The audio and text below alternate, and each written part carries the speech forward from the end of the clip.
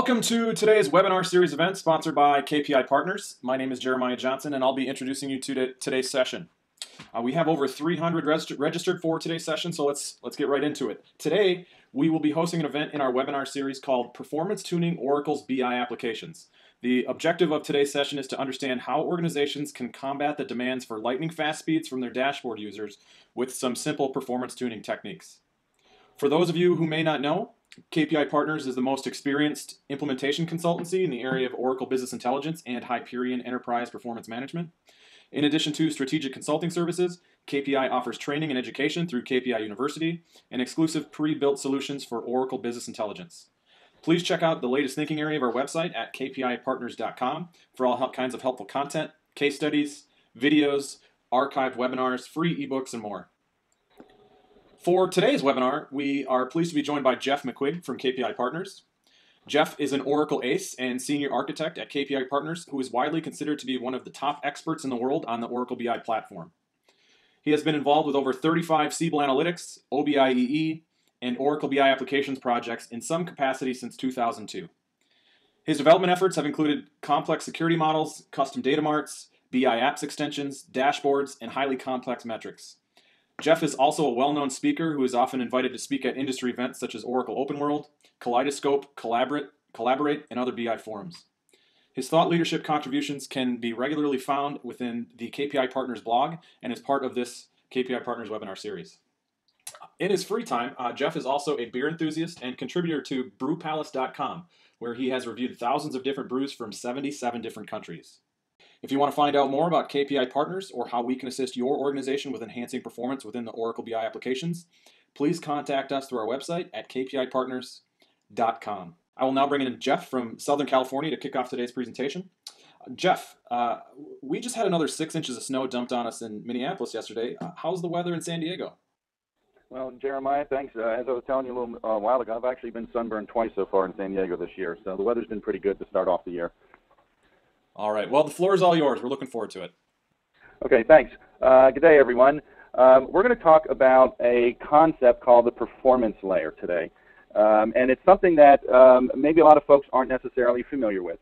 Uh, it's uh, a concept and a set of uh, ideas and, and, physical objects that we can actually build inside of our database to help our query and reporting performance out uh, for OBI. Um, whether that's uh, some dashboards or whether it's ad hoc reporting, whatever the case may be, we're going to pretty much focus on query performance. We're not really going to address any kind of ETL performance.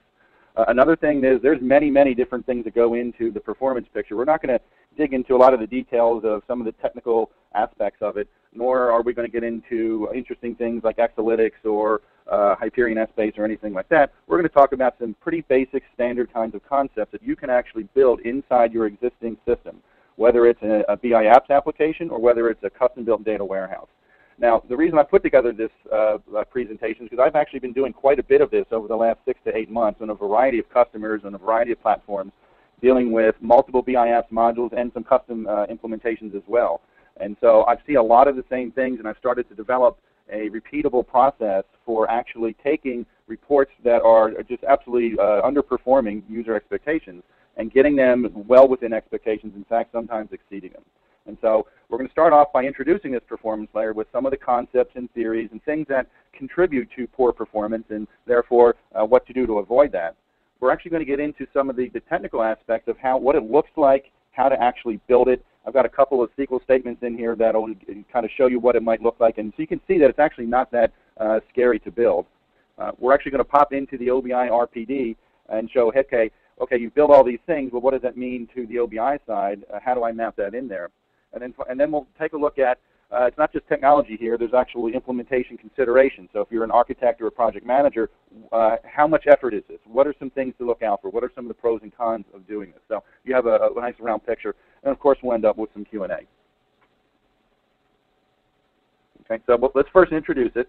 Um, so who is this, uh, this I guess you're all on this, this topic here, this session today, because you are interested in your query performance of your uh, reports and dashboards. And so uh, typically that's a very common uh, kind of uh, concern that customers have. Um, it's many customers don't have it because they simply have a small data set or they have low, use, low user counts or whatever the case may be. But the things that we see that are typically drivers for customers being um, not happy with their query performance are those who have potentially large data volumes. That's an obvious one, right? If you have hundreds of millions of records in your financial uh, your financial tables or your order tables, uh, that's going to slow you down versus a smaller data set. Um, we also noticed that um, sometimes when you are installing a BI application, you have to do a lot of customizations. Why? Because your requirements are just different than uh, what Oracle provides out of the box. So you have to customize and enhance and add to those tables. And as we'll get into some of the concepts, adding is what slows us down quite a bit. Uh, this is something that we've seen quite a bit. Sometimes you've had an integrator in there who's actually not done a really good job of bringing in and designing for performance. And so they may, some of the decisions they've made and the implementations may not be actually the best. They may be pretty bad and actually causing some of your problems. Um, other customers have very aggressive performance targets. I need everything on every single page to come back in, in five to 10 seconds all the time. Anything worse than that is unacceptable. And so that actually, in a, in a relational OLAP kind of environment, is not necessarily the easiest thing to, choose, to achieve. Um, finally, um, uh, slow hardware. Um, you know, uh, performance comes from a, a, kind of a handshake agreement between design software and actual hardware. And so sometimes uh, your deployment is on a slower hardware environment, and your hands are tied. You can't you can't really do much about it. You're on a shared storage area network, a SAN, and the latency is bad. But tough luck, you still got to make the thing work uh, to your users' expectations. So that may be one of the causes here. And then finally, although this uh, the topic of this uh, webinar is performance tuning Oracle's BI applications, the same exact concepts apply for custom data warehouse. Um, and we'll, we'll talk a little bit about the differences between an application, a BI application, and a data warehouse. But typically, if all you have is a classic data warehouse, you are going to run into performance problems. That a performance layer is, is the prescription for that. Okay. Uh, as I said, this is primarily for the BI apps. Uh, so it, it, works for the out-of-the-box stars that you may have purchased. Uh, it's also for any custom stars. Most customers do have some form of new star that they've added into the BI apps. It also works, as I mentioned, for custom-built warehouses. Uh, and note, this is not an Oracle-only kind of scenario. I've actually done a lot of this work on SQL Server. Some of the terms and, and concepts are, are, slightly different, but uh, the skill set translates from Oracle to SQL Server very, very well. I am by no means a SQL Server expert, and I was able to get some really good performance gain using these exact same techniques.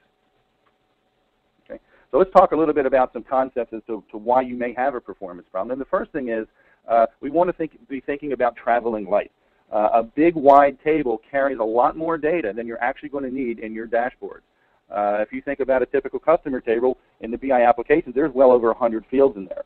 Yes, many of them are empty, but many of them are not.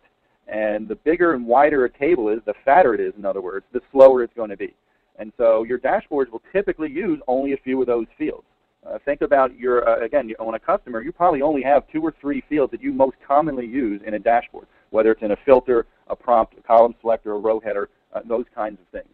So what we really want to think of here is the difference between the, the, the images on the screen here between a big truck and a sports car. Smaller is going to be faster. It simply has less weight uh, to move around. We need to make sure our designs are, are effective for performance. We want to start uh, when we think about performance, we want to start with clear design goals. If we have other priorities in our designs, we're not going to be as fast as we could be. And again, the images here are perfect for this because the image on the left shows we need traffic and boats to go to handle this bridge, whereas the image on the right doesn't have to worry about that. No speed limit on the bridge on the right. So what might some of those other uh, priorities be? Well, it could be ETL uh, issues right? Maybe we, we build one large table because it's faster to build it than two smaller tables or three smaller tables. Uh, and with the BI applications, Oracle is very interested in time to deploy, right? So that they uh, can deliver on the buy versus build promise. And so what Oracle will do is they will bring in more fields into the base BI tables than reality you need. And so what we want to focus on is just pulling the ones out and focusing only on a design for performance. We're not going to worry about ETL performance, and not having too many objects. We're going to make sure that we optimize for usage. Okay? Another, uh, just hitting on that topic a little bit more, if we were to, if our, if our application was we need to build a uh, device that will carry hot coffee for us in the car when we drive to work, well, a regular glass isn't really the best solution for that. What we really need to do is tailor a solution for how it's actually going to be used. In other words, design it for those use cases, right? And so we're going to design our underlying data structures for exactly how our dashboards and reports are used. It's effectively going to be a very top-down kind of approach as opposed to a bottom-up or more generic kind of approach. And this is actually a concept that uh, Uh, that I some people kind of struggle with a little bit. Oh, it's a data warehouse. It's just supposed to contain all my data and, and just throw it in there, and I can do whatever I want with it. Well, that's true, but your dashboarding environment is very different than a data warehouse. Your dashboarding environment is an actual application. It happens to be a BI application. Whether or not you purchased it from Oracle or whether you build your own, it's still an application to the end users, isn't it? And so any application uh, whether you're building a transactional system or a sports car or a, a coffee mug, you do that top-down data model design based off of how that application actually works.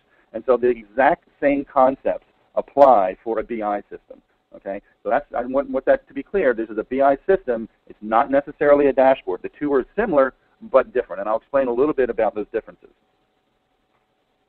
Okay, so when we think about top-down design, uh, just kind of a preview here on some of the attributes of the performance layer, we're going to have pre-built logic. In other words, if there's complex calculations that we're doing, whether it's a, a complex metric or filtering or a, a bucketing, we want to pre-build that logic so that we don't have to do it at query time. We want to make sure that it's, it's, everything is optimized for the usage. Uh, what that also translates into is we want to have a clean star model. We do not want to have snowflakes. Snowflakes are, are poor for actual query performance in an Oracle and SQL Server and DB2 kind of system. Not so much for other systems, but for regular uh, standard databases, that's the case. We want to make sure we reduce our data weight. Right? We don't want to bring anything more than we need. We only want to carry exactly what we need into our performance layer. Uh, we also, part of the usage here, where does a lot of our usage comes from both the dashboard design, you know, prompts and filters and reports and whatnot, but it also comes from the OBI repository, the RPD, the, the BI server layer, and some of the logic that's built into that. Uh, for example, there may be some specialized filtering that removes a certain data set out of a very large table. So why are we doing that at query time all the time? Let's go ahead and pre-build that so that we don't have to do that every single time. It's already done for it. Done for. So we want to match, we want our tables, want to match the design and the implementation in our existing RPD. Let's talk a little bit about this. This is the performance layer is not a new concept. It's been around for a while. What you're looking at here is part of Oracle's data warehouse reference architecture. This is taken from the most recent one they did back in uh, January of 2010. Uh, and this is a kind of an industry standard sort of uh, way to think about a data warehouse and all your sources and how you get it in and then how you actually use it on the right, how you actually get that information out. And so if you look here in, in the green box, that's our foundation layer. Right? That's your data warehouse layer. If you see there, it says process neutral 3NF model. Well, that's true for uh, a, a, normal kind of a data warehouse. The BI apps, it's not necessarily true, right? The BI apps uses an actual star, but it's the concepts are very similar. There's a lot of information in the BI apps data model, just as there is in your actual data warehouse. We don't need all of that, number one. And number two, it's not always exactly perfectly optimized to how you're going to use it. So the, J the basic architecture uh, identifies in yellow there an access and performance layer. And this is where you see we build an embedded data mart, materialized views, uh. Those are the things that we're actually going to be talking about. Uh, uh, an access and performance layer could also be an Essbase cube. Okay, it does not have to be a relational uh, uh, data model. And so what we actually do here is you see we build this embedded data mart or this performance layer uh, from our actual source um, data warehouse or BI apps tables. Let's talk a little bit about, to give you another perspective on what that might look like. I'm going to use a, a fun little analogy here. Uh, let's say you've got a, you just built a nice pool out in the backyard and summertime's coming up and you want to spend some time out there with the family. Uh, but, you know, we don't want to have to keep going back into the kitchen to get some Coca-Cola to, to cool ourselves off in the summer. So what do we do? We, we install a mini fridge out in, out by the, in the patio by the pool. And this mini fridge is designed pretty much only to handle Coca-Cola or cans of soda. Uh, and so it doesn't have to handle milk, it doesn't have to handle eggs or last night's leftovers. So we can actually make some design decisions about that. And so it can be a much smaller refrigerator. We don't want to bring the, the big kitchen fridge out there, too big, too heavy, way more than we need. So we build a nice targeted performance mini fridge out by our pool. And so what do we do? Well, we build that new data model, the fridge. We copy data or coax from the BI apps or the main fridge into this performance mini fridge. And we bring only what we need. Again, if we don't need uh, you know, whipped cream out there, we don't bring whipped cream. Now, uh, unfortunately, uh, point number four there, my analogy breaks down a little bit. We want to do some denormalization and pre-calculation. I'm not sure exactly how that plays in with the fridge concept. Uh, but uh, anyway, the net here is, we, the takeaway is we want to optimize to how we're actually using it. So that little fridge right there, I can put in a lot of Coke. I can get to it very quickly, and it doesn't need to worry about anything else. Okay, so just a quick summary here, some, a few takeaways about this performance layer, about some of the concepts, right? So this is an industry standard architecture. This is not some wild and crazy thing that, that Jeff McQuigg and KPI partners are inventing. No, this is a standard kind of approach. Okay, it's not necessarily known by a lot of folks, however, when they're when they're beginning their BI systems. Right? We want to design. We, our design is driven by our actual report performance. Right? It's not necessarily concerned about ETL performance. It's not concerned about uh, how quickly you can build it. It's it's there to get reports to run as fast as they can. We want to travel light. Right? Another thing is, I, I, did, I may have skipped over this slightly, but we don't really want to spend a lot of time altering the BI apps or our data warehouse model. They're basically fine the way they are. Let's leave them as they as they are. Perhaps you can do some additional tuning here and there with some indexes and whatnot, and you should do that. But let's not spend a lot of time uh, re-architecting the underlying data model because it has other needs and other purposes. Let's build something on top of it. As we'll find out, it's actually much faster to do that anyway.